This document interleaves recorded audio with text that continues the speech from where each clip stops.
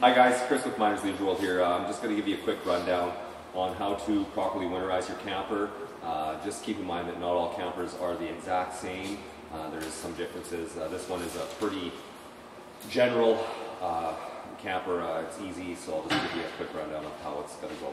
Um, first thing you want to do, find your hot water heater on the outside of your camper because you want to bypass your hot water heater. Easiest way to know where you bypass your hot water heater is, is to find it on the outside of the camper. In this model, the hot water heater is in the back, in the bathroom. Um, it's quite simple. This one's got a drawer. Some you might have to take a couple screws out to access the back of the hot water heater. Uh, this one's just got a single valve system. Some have three valves on them. Uh, the valve is just behind here, so I have turned it up. So it's, it's hard to see, um, but the hot water heater is now bypassed. This hot water heater takes an inch and a 16th uh, socket to get the anode rod out. Make sure you have the pressure off of it first with your PT valve. Take your anode rod out. There's no water in this one, but of course water will come out. So as you can see, I've got a long hose coming out to my antifreeze jug. Uh, this model does not have a separate antifreeze hose. So all you have to do is take off the suction side of your pump on the inside, screw another hose on with no end on it that you can put directly into your antifreeze jug.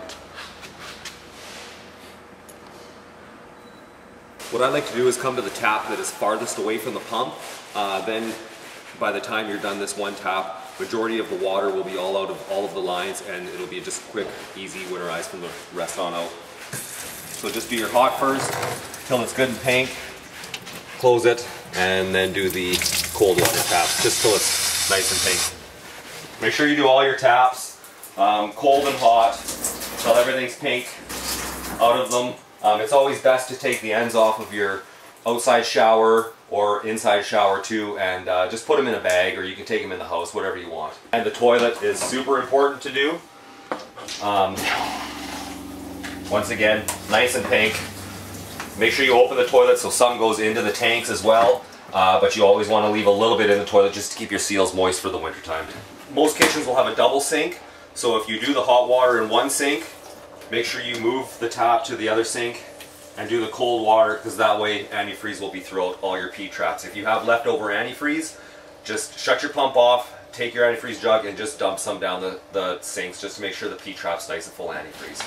And this is where the low point drains are located on this trailer. So it's always nice, these ones have a quarter turn valve. It's always nice to just give them a turn, uh, make sure all the water's out of the lines and it's good and pink there, then they're not gonna freeze and bust in the wintertime. Last but not least, your city water connection. Uh, to get it winterized properly, it's real simple. All you're gonna do is, is uh, pull the screen and uh, gasket out and just push on it a little bit. All the water will come out, it'll be pink there, then you know you're not gonna wreck anything in the winter. Now of course, before you start, uh, you wanna make sure that your tanks are completely empty.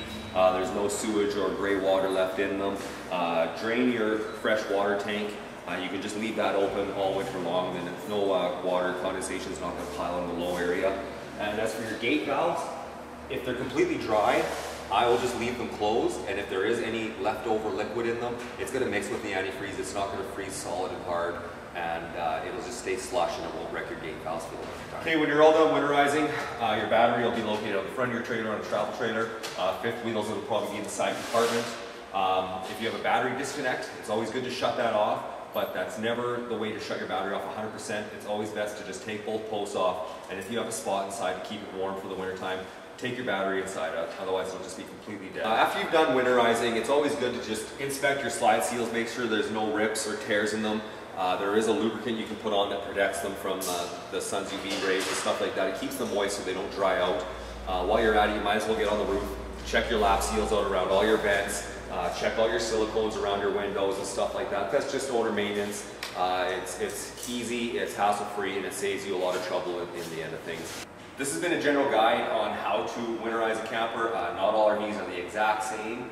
Uh, just know that uh, any RVs not winterized by us, our Minard's Leisure World, we're not responsible for. Uh, if you have any questions, concerns, comments, please call us.